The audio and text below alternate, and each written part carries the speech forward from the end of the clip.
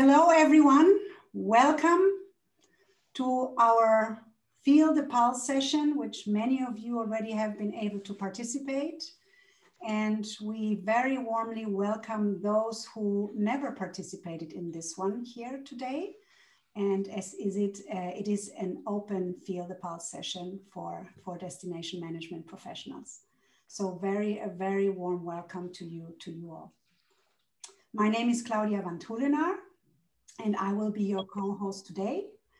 I'm a senior global change maker with the Global Destination Sustainability Movement, and I will be joining to get joined together with.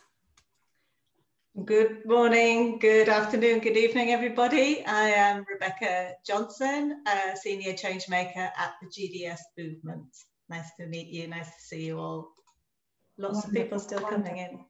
Okay, so just some house keeping notes as usual before we begin. begin. Um, as usual, the session is being recorded. Um, please stay muted unless uh, you're asking a question uh, during the Q&A. Uh, should you wish to uh, ask a question at any point, please signal to the moderator um, via the um, emoticons uh, at the bottom of the, your screen that you would like to speak. And for optimum viewing, uh, please also select speaker view in the top right hand corner of your screens. Um, so to tell you the agenda for today, um, as you will have seen, we're going to separate uh, the meeting into two parts. So the first part will be a, uh, focused on the Sustainable Development Goals. Uh, so we will have, uh, first of all, a presentation from Claudia uh, entitled A Decade of Action. We will then have a presentation from Aileen Crawford from Glasgow Convention Bureau and the second half of the presentation of the meeting will be focused on impact management. And uh, our partner and colleague Genevieve Leclerc from Meet4Impact will give us uh, a presentation um, and facilitate some discussion around impact management within your destinations. Um, so before we begin officially with the session, um, we just have some uh, special announcement to make. So I would like to hand over to Guy Bigwood, um, our managing director for the GDS movement, um, who would like to share some great news with you. Over to you, Guy. Great, thank you very much. Hi, everyone. Um, I'm really uh, excited to, to share two things. So first of all, the GDS movement, as of uh, last week, is now comprised of 70 destinations. So uh, uh, it feels to me like a, a monumental number and achievement and a great community that we're building together. So that's that's super exciting to have reached 70 destinations working on sustainability and re regeneration.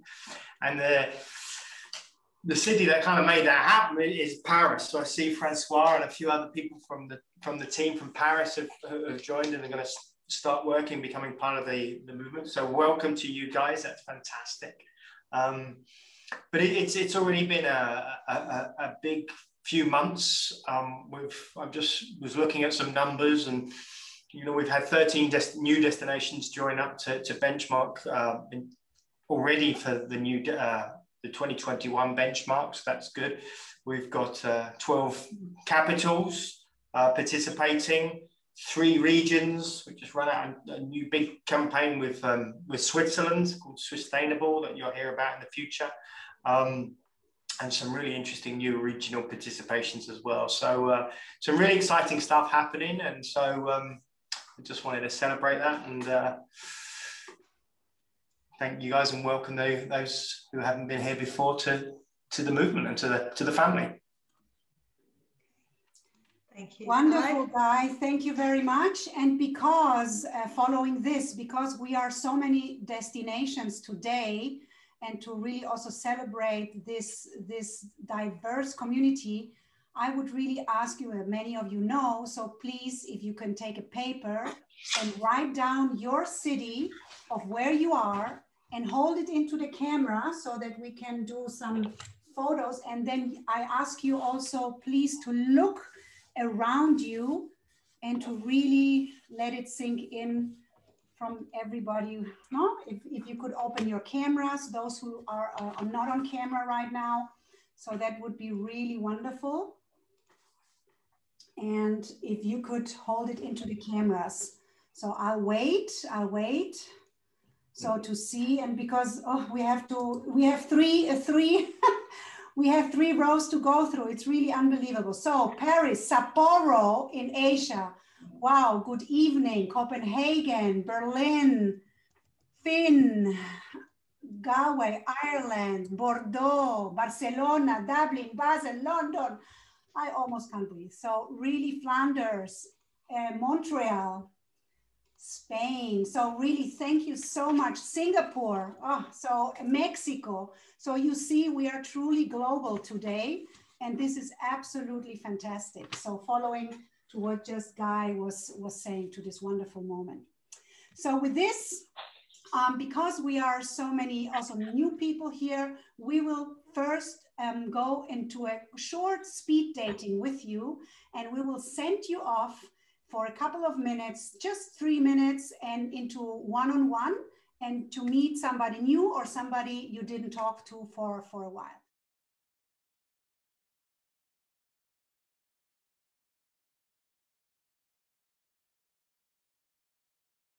So, with this, it is now my pleasure uh, to introduce my esteemed colleague and friend, Claudia van't Hullenaar um, to, uh, with, to, to, present the next uh, presentation. Claudia is founder of Sustained Impact, as well as consultant for the GDS movement and member of the Events Industry Council's Sustainability and Social Impact Committee. Claudia works to support organizations and destinations to shape their transformation to conscious and regenerative business models, creating value for everyone. Over to you, Claudia. Thank you very much, Rebecca. And I will share my screen. And now I need the sign for you as well. If you see my screen and if you see what I have here. Yes. Please give us a yes. Okay, wonderful. So I will shortly talk today a couple of minutes about the decade of action that is 2020 to 2030. And um, actually, as uh, as we have seen, most of the destinations have their strategies aligned to the sustainable development goals, which is really great, fantastic. But we also know that there are some not yet, some working. So we have different, different levels. And so just as a, everybody knows basically the SDGs, I would say, but again, it's, um, I would like to bring it back to really go very deep. That the sustainable development goals is really, really to make our world a better place, not just ticking off the boxes, but really there is a profound um, uh, concept behind it. And it's built on the principles, as you know, people, planet, prosperity, but peace as well is an important part, partnerships. It's universal and it's really about uh, not divisible. So they all belong together and which comes then to a later point with a cherry picking of SDGs. And then also, um, it is really about leaving no one behind. And so these things are many times um, not forgotten, but left at the side. And so I, that's something what I really wanted to call out. And the question here, uh, what I wanted to introduce is also like, how are we doing? And the bottom line is no country in the world is on track to achieve the sustainable development goals. And, um, and, and awareness is growing and growing that we really have to transform uh, through transformational change and to really truly be socially inclusive and environmentally sustainable. And this data comes from the, from the World Benchmarking um, Alliance. And then another interesting fact is um, that the progress is from uh, on all the SDGs is, seen as very poor. And there was a, a survey um, which was actually end of last year, and um, where sustainability experts, uh, with we have five to ten years at least of sustainability experience, um, were asked um, how would you rate society's performance to date in having achieved progress toward each one of the sustainable development goals. And this uh, survey was done um, really uh, throughout a broad, um, not only corporations, academia, NGOs, and so on. So really a, a very wide a variety of, of people. And as you can see here, the blue is the good and the, and the orange one is the poor. So this really reflects the slide, what I was showing you before. And also what we can see here is that industry innovation, partnerships, the clean energy, these kind of things, the more regular, let's call it regular sustainable development, we are doing much better than the really, when we talk about social progress, um, inequalities, reduced inequalities, where if we don't reduce inequalities, that will be really a very, very um, difficult thing because um, we are a common humanity and this is really key also for up leveling all the other goals. So this was uh, just a few, um, few uh, information from outside.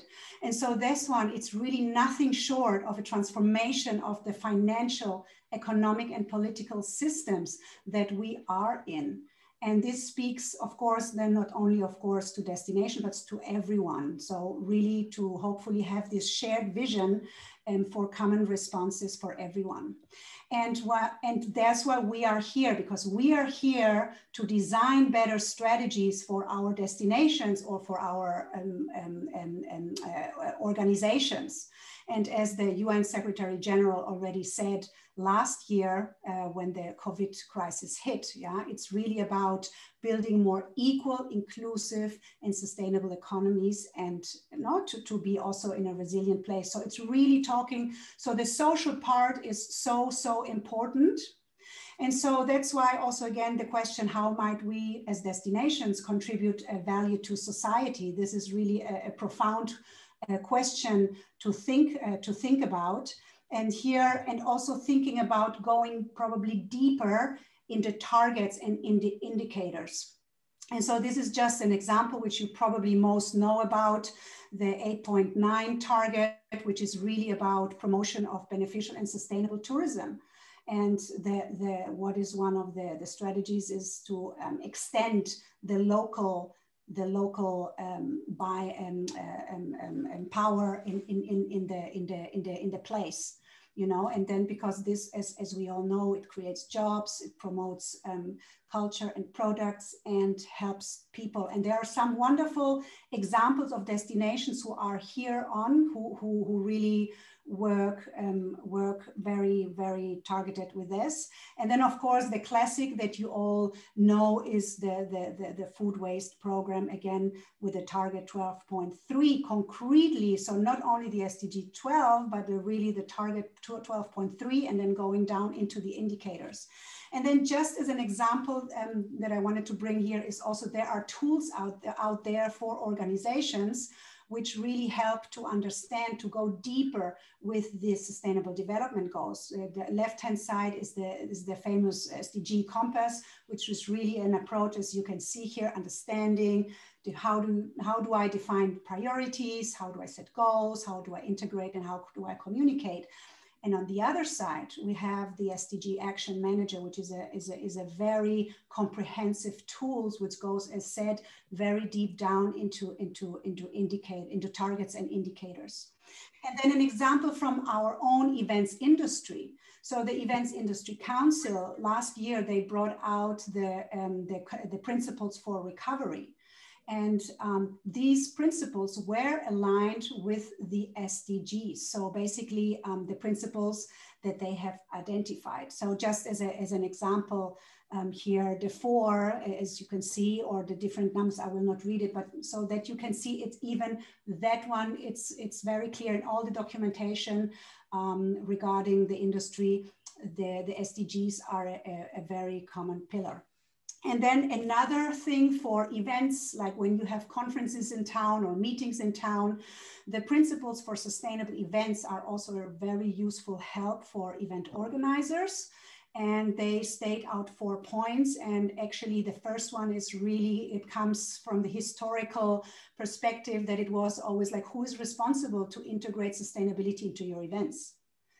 Or the client didn't ask oh, but the supplier didn't offer this, what we had many, many years, and it's still a little bit like that, but that's why the one of the, it's a shared responsibility.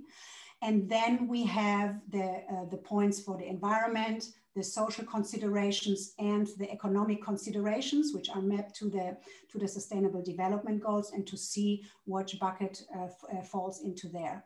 And so this is also very nicely um, to be, uh, ca that can be used for events It's public, it's, it's shared publicly. You can download it. You can share it with your event organizers who come into town or into your regions. And you can also um, endorse um, this, this um, principles publicly on, on this website. And then lastly, um, there is this nice tool, which is the good life goals, because as when we talk about the Agenda 2030, it's really about a good life, a thriving planet, flourishing places. We want to live good. It's our birthright, so to say. So these um, good life goals are a fun way to engage with um, residents, with your uh, event attendees, and with visitors alike. So um, yeah, so basically this was a little a little excursion um, from my side um, into a little bit different kind of um, perspective on the Sustainable Development Goals.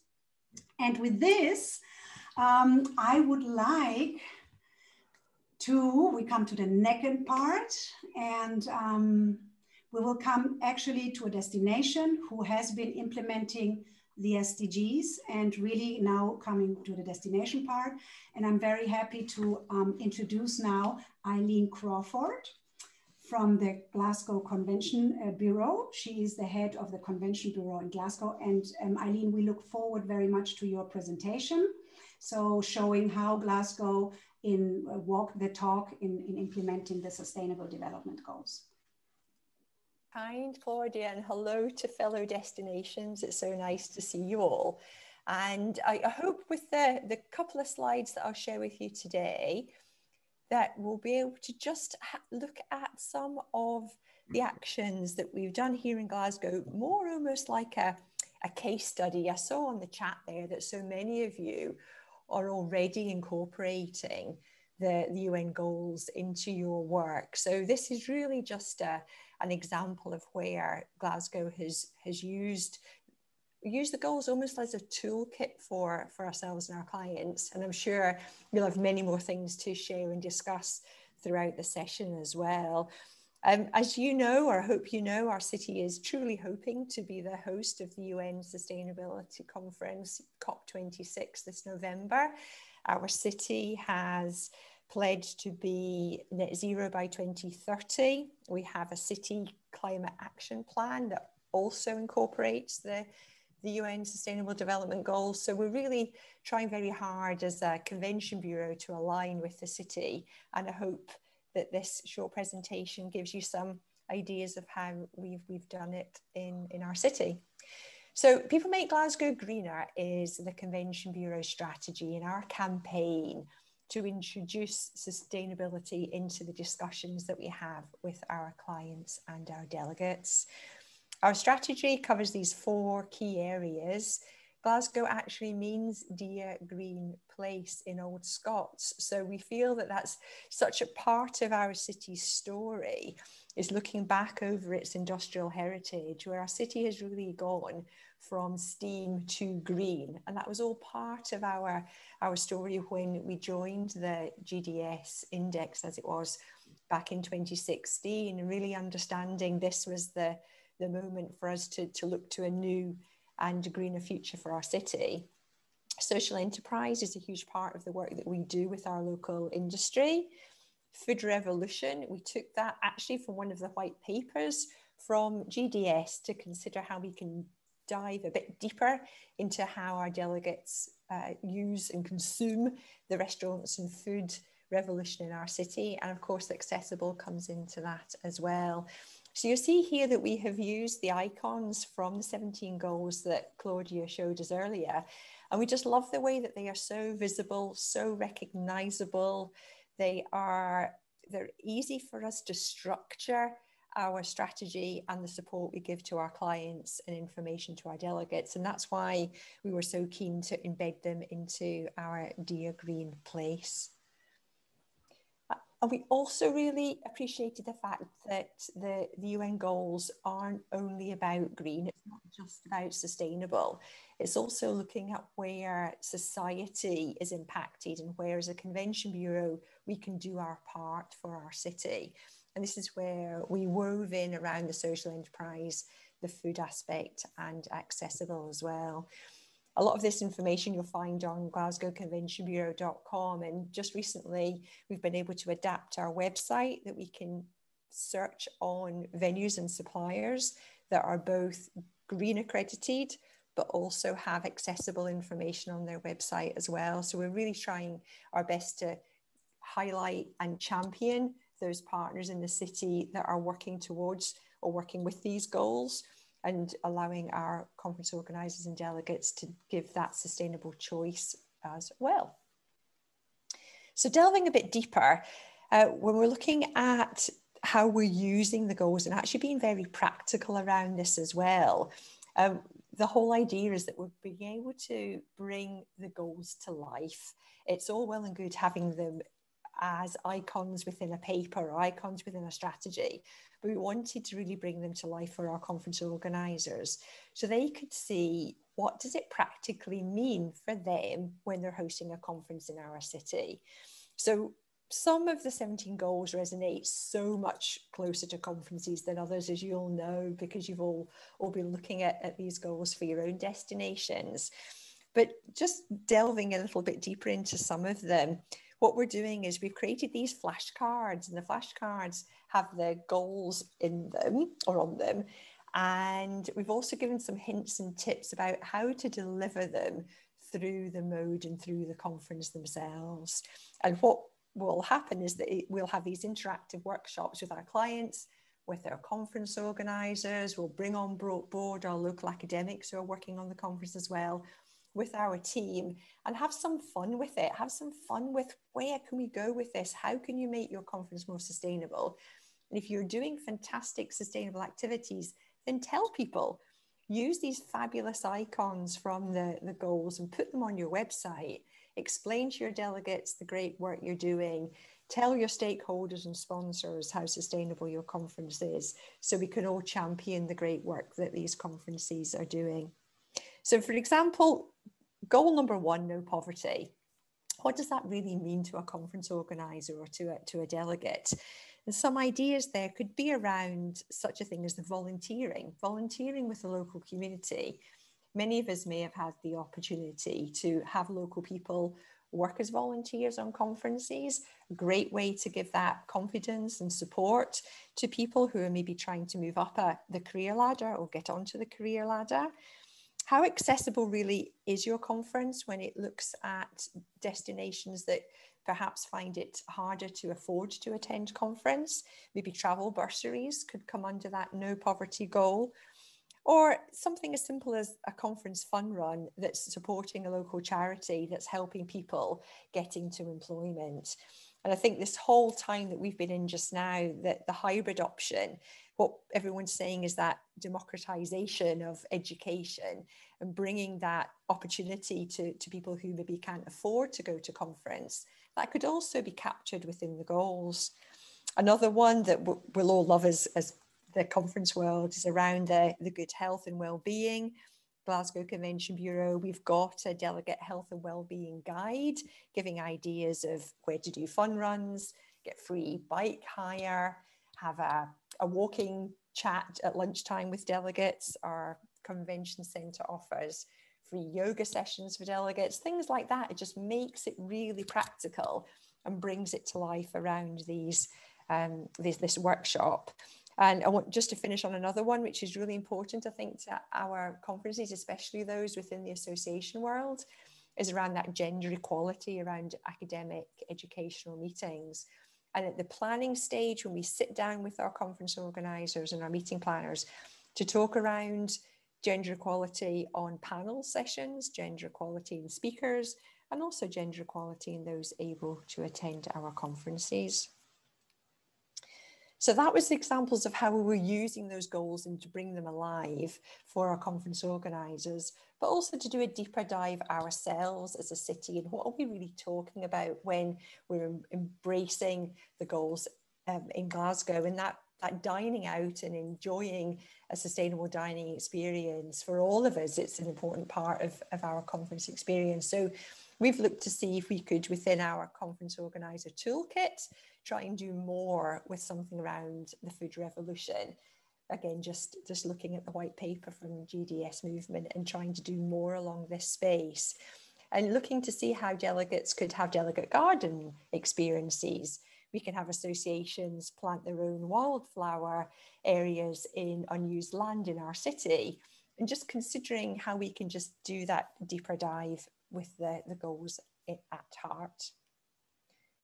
And to finish off, uh, all of us, I think, as Convention Bureau, realise we have this advocacy role within our cities. The role of the Convention Bureau to encourage, to educate, support our local industry in their efforts to be more sustainable.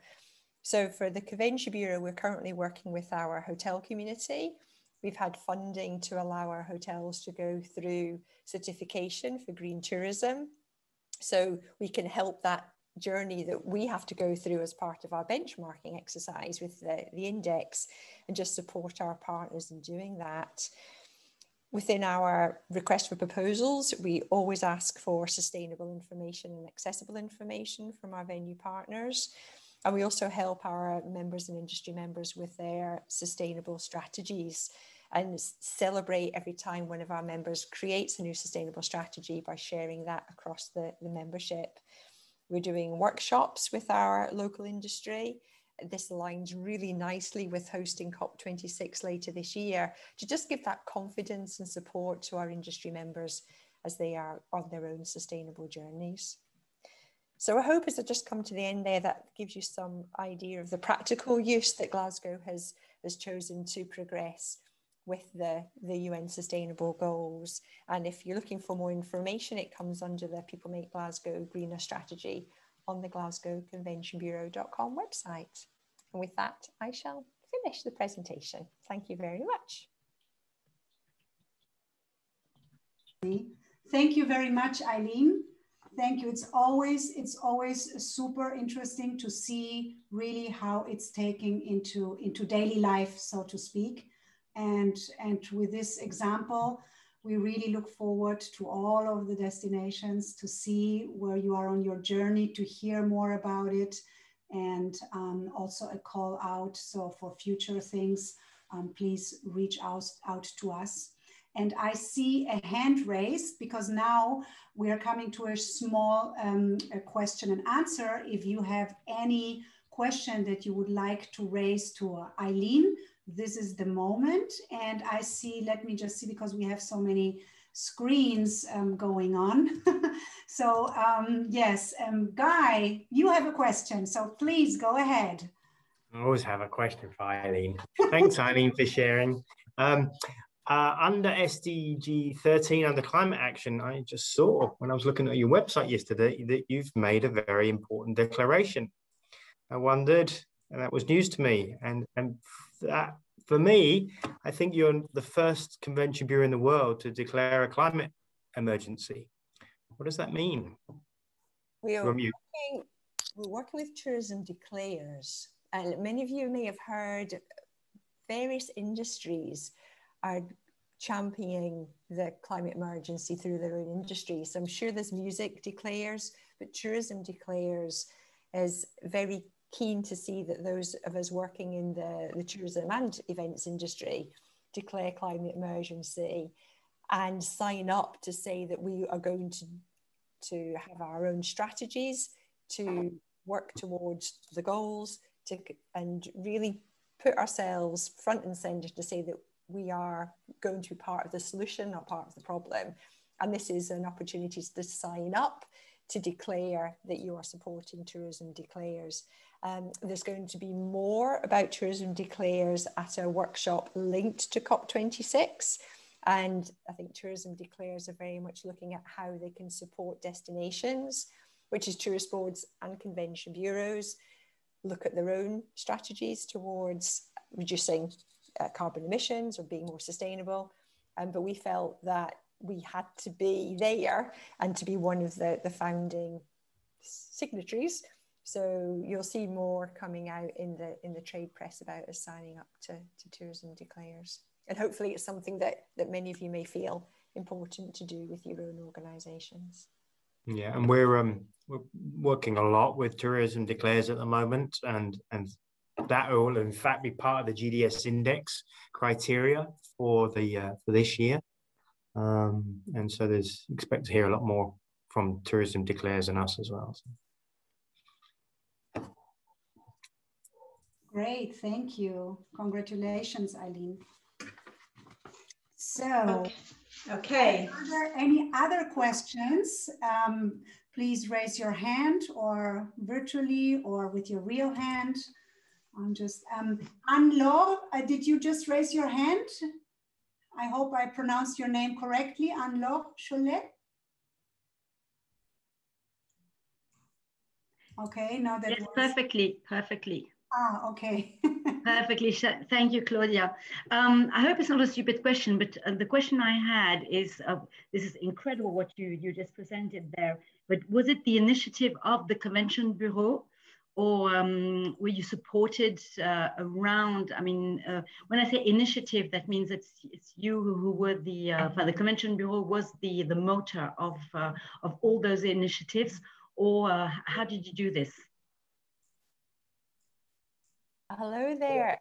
Yes, it's it's the Convention Bureau really coming up with the the ideas, working in partnership with the venues in the city and with our clients as well. And we took so much inspiration from the team from the GDS movement when we joined the index in 2016. Go remember, we knew that the city itself has bold aspirations.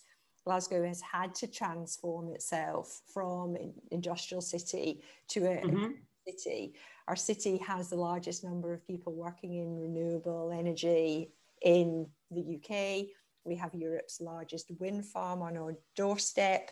We knew that we had a story to tell, and it was the joining the index that gave us that route to tell that story. The medical is the largest number of conferences, then engineering in our city, then it's low mm-hmm. carbon and energy conferences.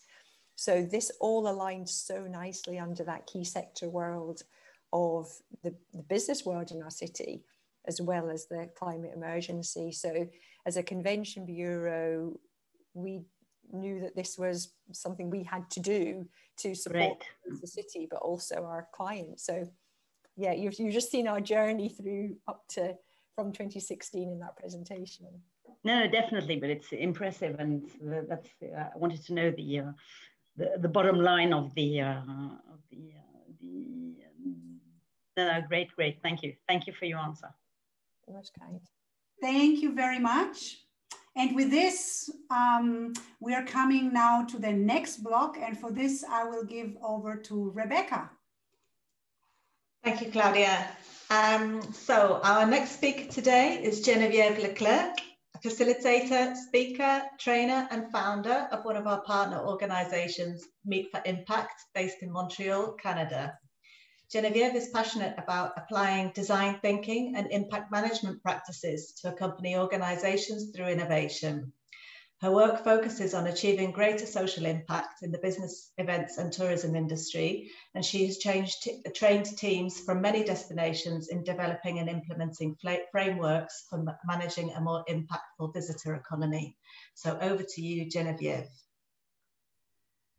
Thank you so much. Um, hi, everyone. Good morning for those of you that are in the same time zone as I am, um, straight from Montreal. Good afternoon to the Europeans and good evening to the Asians that have chosen to, um, to join us. Um, so we will talk about a few things uh, this morning and I will launch my presentation. Um, there we go. Awesome. Does this work? Yes. Okay, cool. Um, so we will talk about impact. We'll talk about impact management. We'll talk about why it's important to talk about impact on top of sustainability. Um, and we will have a chance to do a bit of a, of a brainstorm together at the end of the presentation. So three topics this morning um, using a common language. It's been um, it's been raised that the word impact is often misunderstood. Um, it's being confused with sustainability, with legacy. Um, so we'll try to sift through that. Um, why should we manage and measure impact on top of having a sustainability strategy? And what does it mean for DMOs? Um, so using a common language, we've been hearing about impact quite a bit over the last few years, um, and it has been confused with uh, a number of other terms. Um, so if you could go into the chat, um, and those of you that think you know what the difference is between sustainability, legacy, and impact, let's see what you can come up with give you a minute to post your answers um, and see what we've got. Open my chat here. So what's the difference between impact, sustainability, and legacy? Has everyone got an idea? Okay, while you're thinking about it, we'll keep going. Um, impact is really change. And that is the core difference. We could define impact as the sum of changes that are generated by an organization through its actions on the community and the ecosystem, which take into account the needs of stakeholders and the system targeted. Sorry, let me go back to that.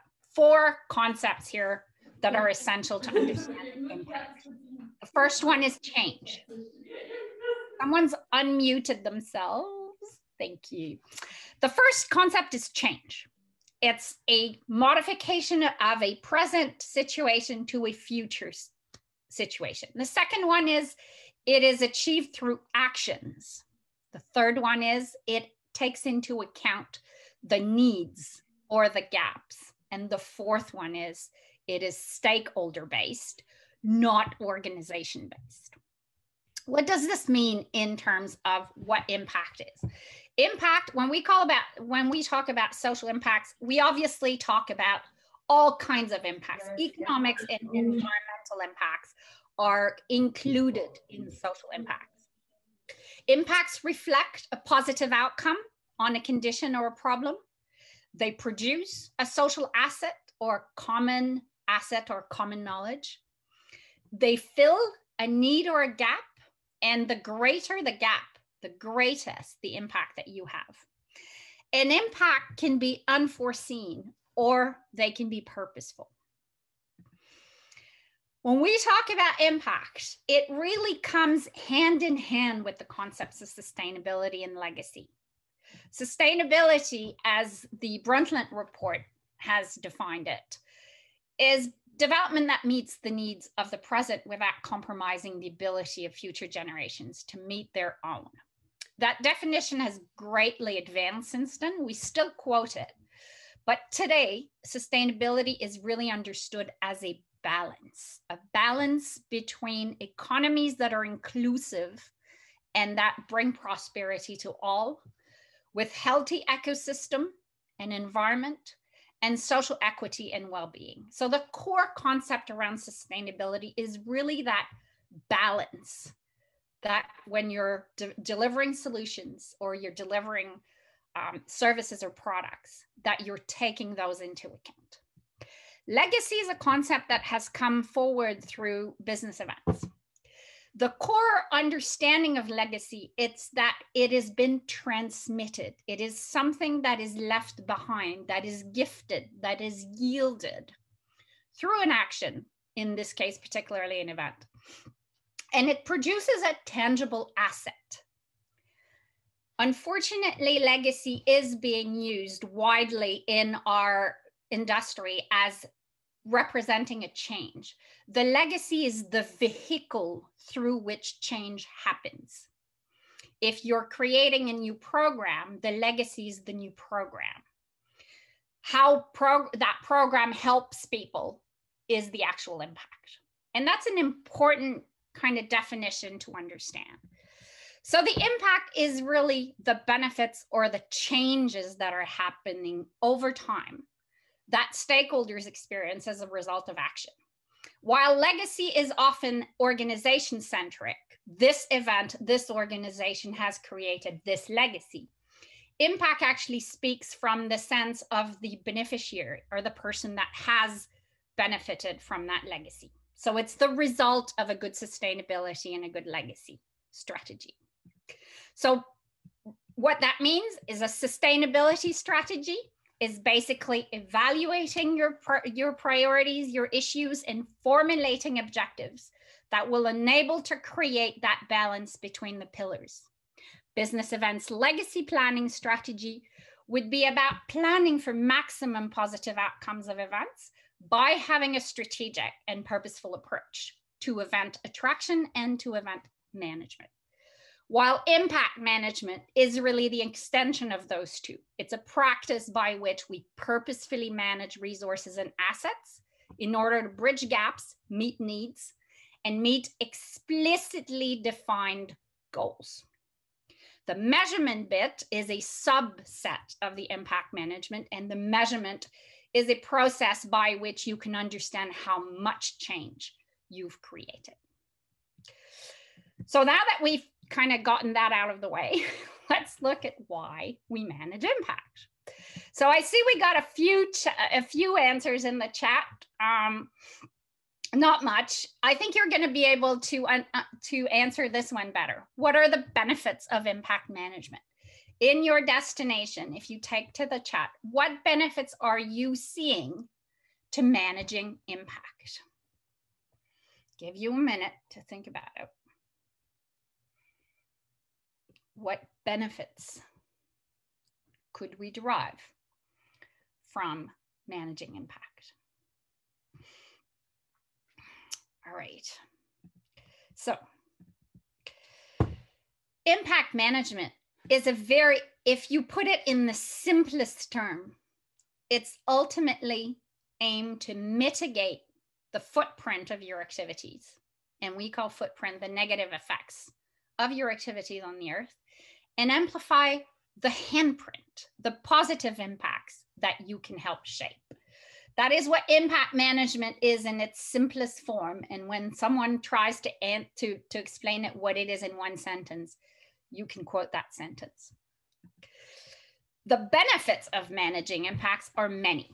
The first one is you're understanding how your activities are impacting nature and society. And a lot of the biggest mistake we see is people developing sustainability strategies, not understanding what their real impact is. So, through an impact management approach embedded in a sustainability strategy, you first understand what negative and positive impacts are you responsible for.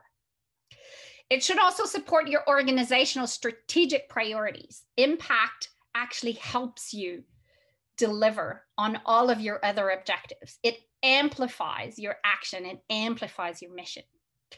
If you start implementing impact and data, you will identify the areas of improvement and drive data driven decision making rather than intuition based decision making.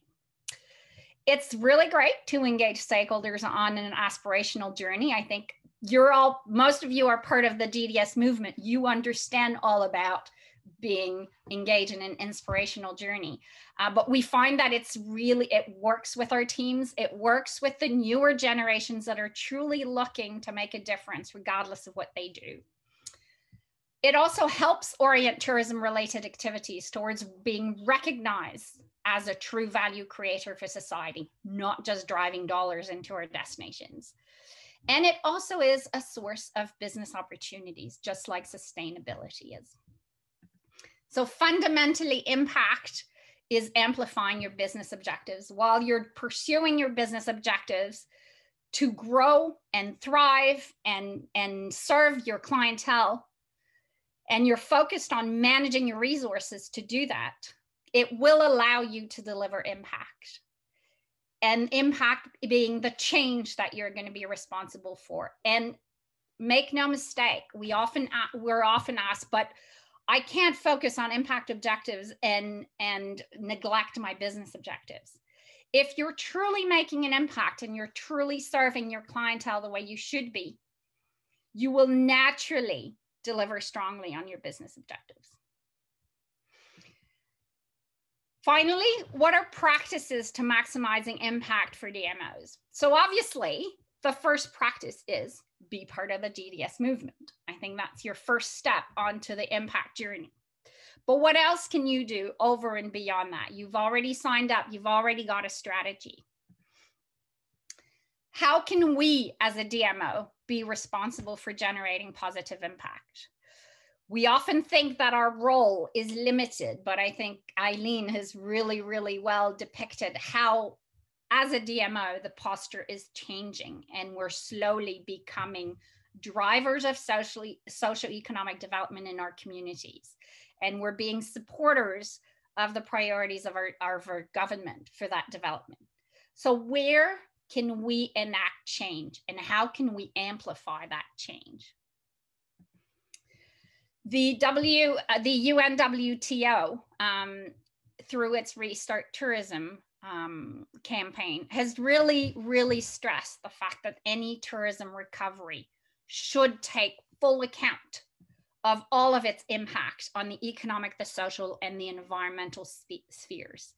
And it should no longer be addressing only the needs of visitors in the industry, but it should also be addressing the need of nature. Nature is a really important stakeholder. It's the main resource that tourism is exploiting, and our host communities, which are also going to become very important stakeholders in the tourism of tomorrow. We are all aware, and I know that just because you've signed up here, you're very aware of the impacts of the visitor economy and of events. Um, there's a, a, a plethora of impacts that are being generated that are currently not being measured. And the aim of having an impact strategy is to be able to develop a strong narrative backed up by data, facts, and qualitative storytelling on what those positive impacts are and how they drive social economic development in our communities. The first thing I recommend is look at what your assets are. Your assets are the current strategies you've got, your governmental strategies, your DMO strategies, your sustainability strategies, your participation in the D, uh, in the GDS index. All of those strategies are assets that are often disconnected and not leveraged fully. Your ecosystem is also a really strong asset. Aileen, you've explained to us how you were um, leveraging that ecosystem uh, to develop your strategy. And the supplier criteria in the GDS index really points out how you should be leveraging that ecosystem. How can you be using them more? How are you using your tourists and your events as strategic levers, strategic drivers of change in your community? And finally, are you leveraging your local community? It's one of the biggest assets that you have as a destination management organization very often overlooked. How many destinations last year, when they started to implement local or hyper local tourism strategies in the response of the pandemic, simply had no channels to their residents and had to borrow channels from partners. And I've been told by more destinations than I can count. We simply have never really talked to our residents. So now we need to create these channels from from scratch. So let's very quickly list six strategies and uh, Rebecca will explain at the end of the session how, uh, if you want to delve deeper into these six strategies that we've got a plan. But very quickly, the first strategy, we've talked about it with Claudia and Aileen this morning, develop a comprehensive strategy that aligns the purpose and your actions with the UN Sustainable Development Goals make a plan. And also don't look at just what you're doing, but make sure you're anchoring that in your local or your national SDG strategy for maximum impact. The second strategy is develop a pathway to generate and measure societal impacts through events. Events are a fabulous asset that are coming into your city that are probably leveraged for about 5% of the value that they should be having. How will you develop a purposeful strategy, a purposeful pathway to identify how events that are coming to your city can help bridge local needs or local gaps? How are you going to define that intention of change through that event?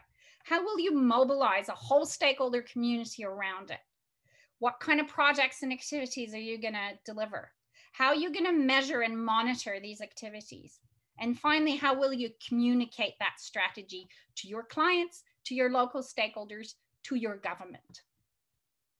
Strategy number three, involve your resident community in a process by which you're generating meaningful conversations with residents about what tourism is for them, what it means, what its role is in your city, and what impacts, positive and negatives, are on the residents. If you're doing a tourism resident survey, that's not a that's not a, a community engagement process. It's the basis of what you should be doing.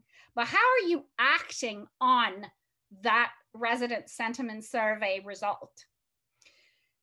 Process of involving your community and developing a community inclusive tourism approach means that you can truly develop a comprehensive framework for making sure that tourism responds to the needs of the city, of its community, and maximizes its impact. Strategy number four, turn your strategy into a monitoring dashboard. And we've got a few destinations that have done this. And I'm going to quote Julie from Bordeaux because we've been working with her on doing that. She's been doing a fantastic job. Um, just f- with a few hours of training, she's developed a really impressive dashboard.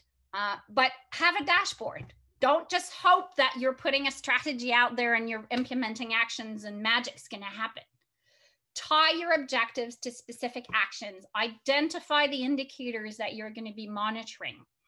Identify the targets because it's good to have indicators, but you need to have target to know how well you're doing and what's your minimum baseline for determining whether you've done good or not.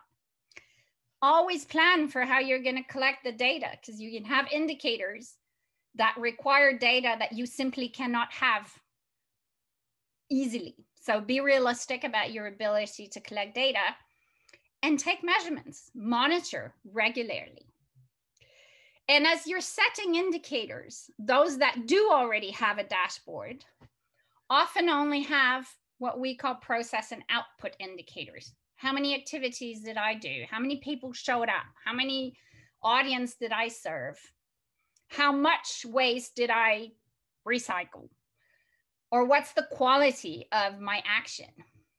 But start thinking about having outcomes indicators and those are harder to get. Admittedly so it's a journey. Outcome indicators talk to you about how beneficiaries have felt the impact of your actions. So very short term outcomes mid-term outcomes long-term outcomes they talk about results they're harder to get because you usually have to get data outside of the organization. And sometimes you even have to rely on other organizations to give you data. And that's why I'm saying when you start this journey, be realistic about the indicators that you can actually have. But set yourself a higher bar on saying, can I include a few outcome indicators in my strategy? Strategy number five measure, have indicators we have a framework with indicators. There are others out there. Ours is based on eight capitals. So basically, the purpose of having a measurements framework is to identify how your actions are generating positive value. In this case, if you see capitals as being assets, how are my actions or my business events or my visitor economy increasing our stock of assets in any of these capitals? What are the outcomes that are generated? What's the positive result? How do they line uh, how do they align with sdgs and then what are the actual indicators that we're going to use? Regardless of the framework for measuring your impact that you adopt start thinking of making sure that you're measuring at least a few points of data beyond the economic output. And finally strategy number six report on impact your annual report is not an impact report. An activity report is needed. You need to say what you've done, how many, how many money, how much money you've spent, uh, what activities you've put in place, what new programs have put in place. But impact reporting is going to talk about the effects of that. It is not organizational centric. It's written from the point of view of the people or the groups or the nature that has benefited from your actions. It's outcome driven, not activity driven. It's often data in rich context. It involves a lot of qualitative information, but it makes such a better story. So there's not just six strategies, but these are the six that I've chosen to um, to present. So, and these strategies are really how you can go beyond having a mere sustainability strategies. We're gonna have um, a little exercise on this. Um, we were gonna have a poll, but um, but the poll isn't working. So what we've actually done is we have created very very quickly a Jamboard um, that we're gonna have you go in. Now I'll stop talking. We're going to ask you three questions in the Jamboard. Um, you're going to go in and answer the poll through the Jamboard, and then we'll come back and have Q&A session for about 15 minutes. So what are Jamboards? I'm going to reshare my screen. Jamboard is this. So it's a very small whiteboard, very easy whiteboard tool through uh, Google. So I've got three questions. Question number one, question number two, question number three. You navigate between the, the pages with the little arrows on top. And basically what I've asked you to do is vote with a sticky note with the name of your destination wherever feels that it's the right answer for you. So what, what does that mean? I click here left on sticky note. I click once, sticky note appears, I can change my color. I can write Montreal and then I save. And then my little, and then I cancel because I don't want a second one. And then I can move around my little note. I can, I can change its size. I can write other things too. You can write qualitative things in it if you want. You can change by double clicking on it. So we're going to give you a few minutes to do this try to answer the three questions. So the questions on the left, the first question, what are your current practices around impact management within your DMO? So create a sticky note, put it in the column that best fits. Move on to question number two and question number three. uh, Rebecca, can you share in the chat the link? Shared, so, yeah, that's just been shared. So Perfect. Go for it. so go for it, people. Jamboard, Jamboard. awesome.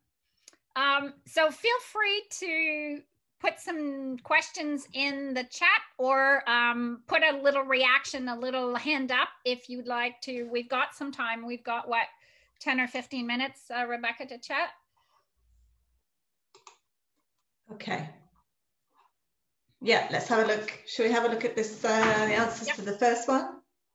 So the first one, um, very few people actually have it in place. We've got a few destinations that are working on training their team and developing an impact strategy. Congratulations.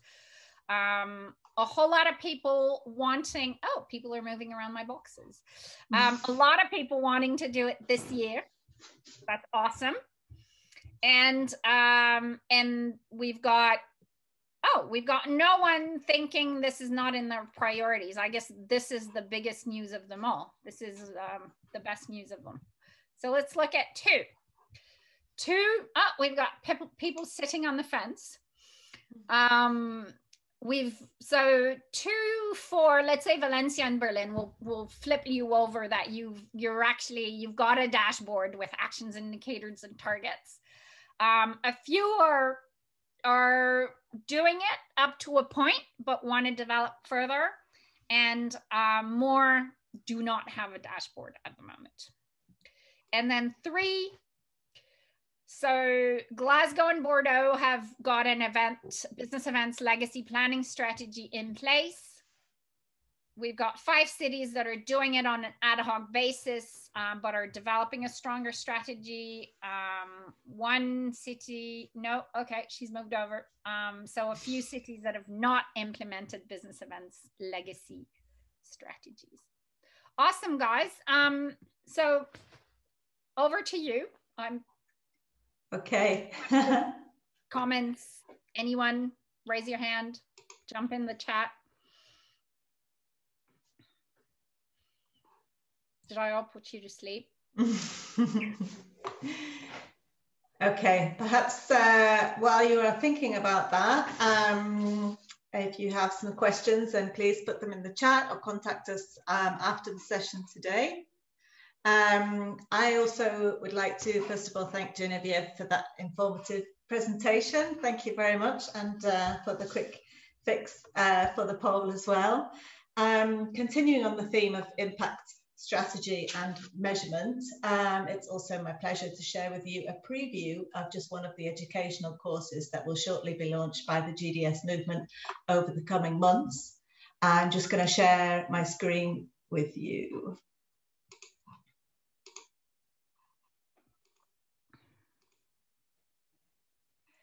Uh, so this masterclass on impact strategy and measurement represents a collaboration between uh, Meet4Impact and GDS movement and will be composed of the four modules you can see. So an introduction to impact management and strategy, using the SDGs to drive impact, measurement and reporting of impact, and finally, uh, the fourth module is impact and measurement strategy development. And this final module will focus on a more practical approach, enabling participants to apply the knowledge gained to their own situations. Total class time is approximately 12 hours, although the time investment required from our participants will be around 20 hours, as there will be homework and preparation set along the way. Initially, uh, this course is aimed at individual destinations, so an opportunity to get for you to get together uh, with your uh, with your DMO colleagues and really focus on uh, your impact strategy development. If you any of you are interested in finding out more about the course, then please don't hesitate to get in touch with us uh, following the session. Rebecca. So, um, yes. Meanwhile, if we don't have any questions, um, I would like to propose to ask Julie to actually talk to us a little bit um, about the work that she's done because I think the dashboard could really be an inspiration.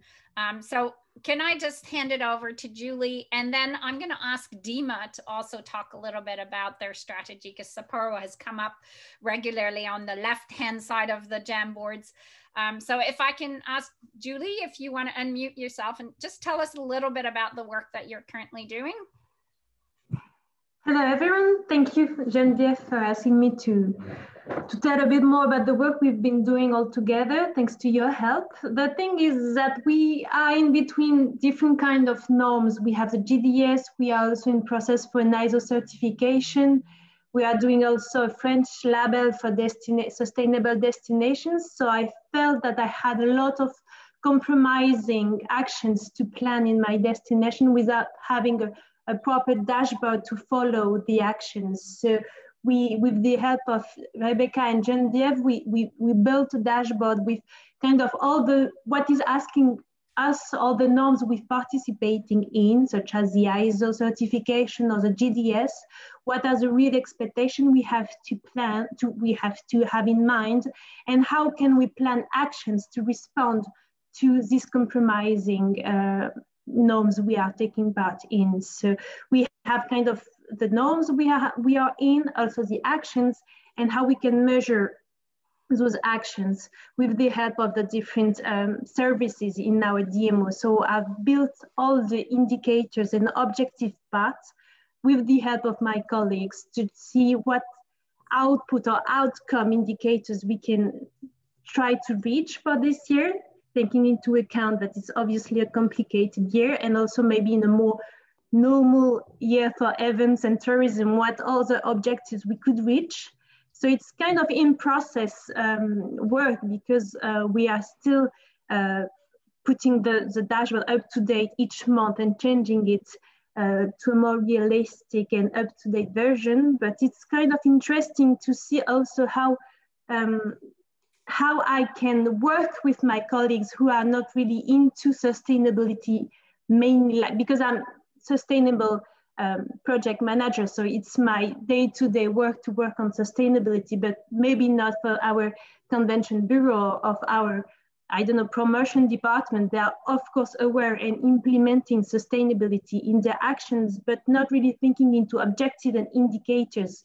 So it's actually motivating them also to see how that what kind of real objective and actions they can reach. So it's a different kind, it's a different point of view for them too.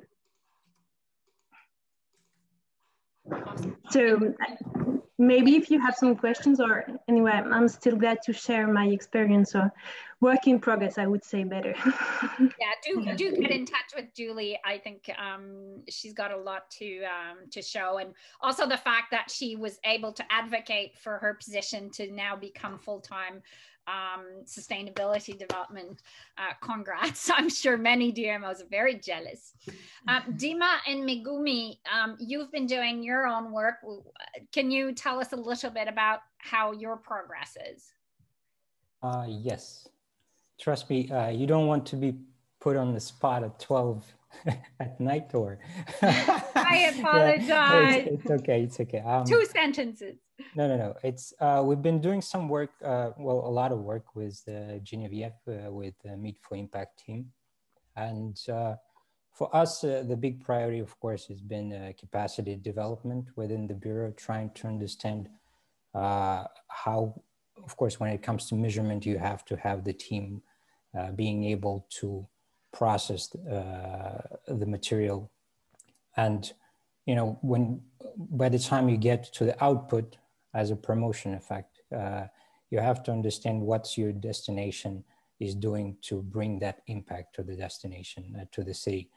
And uh, for us uh, for the association meetings part we have been always uh, we'll, we'll, we all be, we have been uh, really keen to focus on why do we want these conferences to come to our city or what sort of uh, what sort of fields or businesses we want to focus on as a destination in the long term. Uh, but at the same time, there are also incentive travel, there are also events and other things that we need to be changing as far as SDG sustainability and impact concern. Uh, so um, for us at the moment is of course it's uh, uh, capacity development within the bureau and then try to understand how we can uh, measure properly, and then of course, uh, um, how do you call it? Promote properly and put our destination out there on the map. I hope that makes sense. Thanks, Dima. And and what's um, what we've found to be really um, stimulating is the fact that Japan is very progressive on the SDG strategy, and Dima and Megumi have been wanting to make sure that they were anchoring their work into the city's work. Um, the prefecture and the national work as well. So there's a there's a real wish for alignment now. There's there's some challenges i think uh, whenever we try to align with governmental strategies in any destination um, but that's it's been impressive to see the commitment from uh, from Dima and Megumi and their team on that. We had a couple of other destinations that were best in class on our Jamboards. We've got Tirol, you've got Prague, we've got Paris, Geneva, Bogota. Does anyone else want to share a little bit of their journey on impact?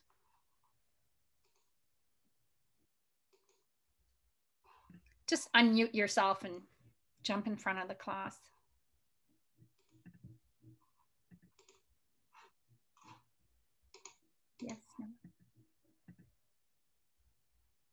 Bogota? Bogota, where are you, Bogota?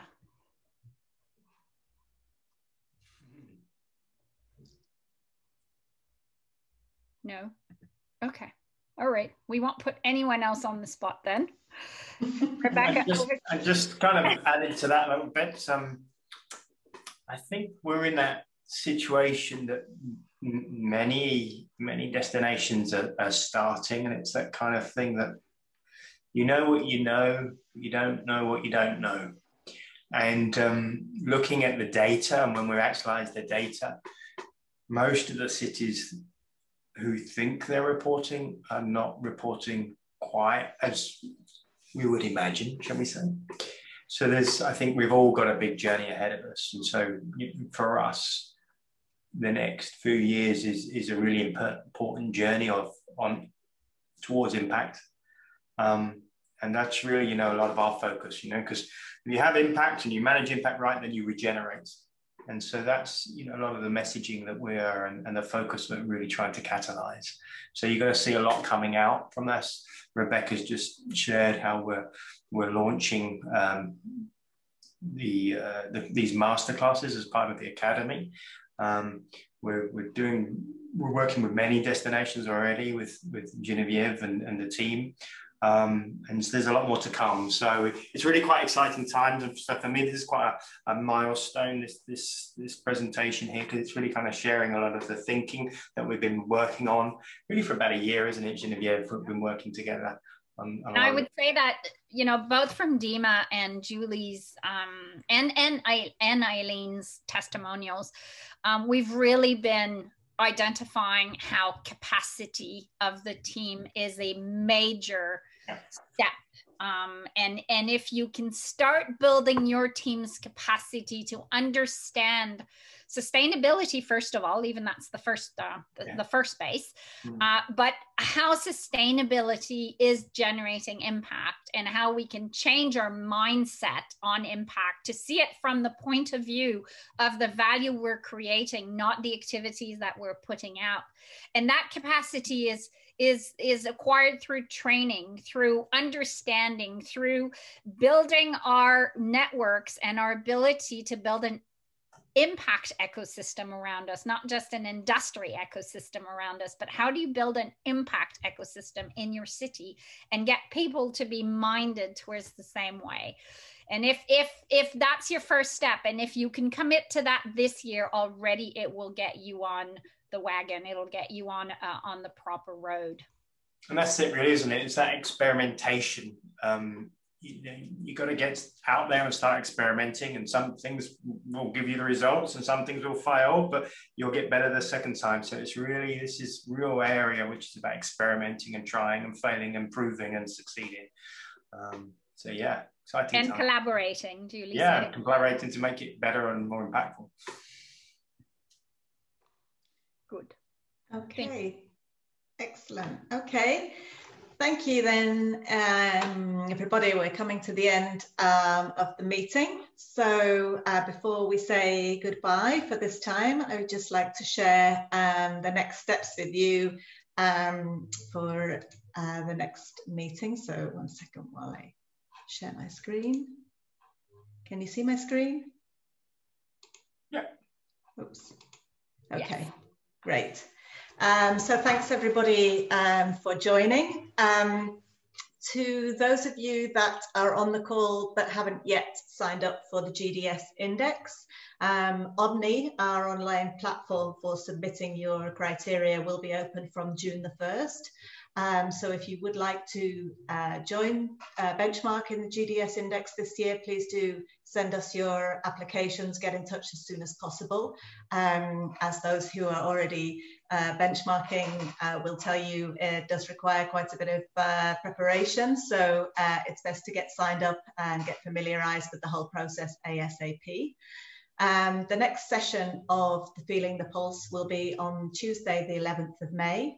Um, that will be for all members of the GDS movement. Uh, and the topic will be destination certification approaches. So we'll be looking forward to welcoming the GSTC to that uh, session. Um, we hope to see many of you there again. Um, there will be a recording of the session that will follow. Um, if any of you would like to sign up to our uh, GDS movement newsletters and communications, then please do uh, do that via the newsletter that you will receive. Um, otherwise, I think uh, all that's left is to say goodbye um, and to thank everyone for joining. Thank you very much, everyone. Thank you. Bye. Have a good day.